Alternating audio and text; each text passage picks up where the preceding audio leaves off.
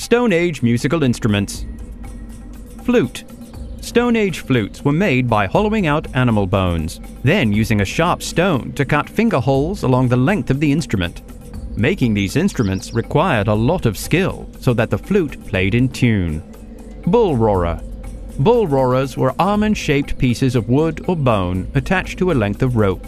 The player would swing it round and round above their head. It made a whirring sound, a bit like a swarm of bees or a herd of cattle. Drum. Stone Age drums were made by stretching animal skin over a wooden frame. Sometimes rope was attached to the sides, with seeds or small stones tied to the ends.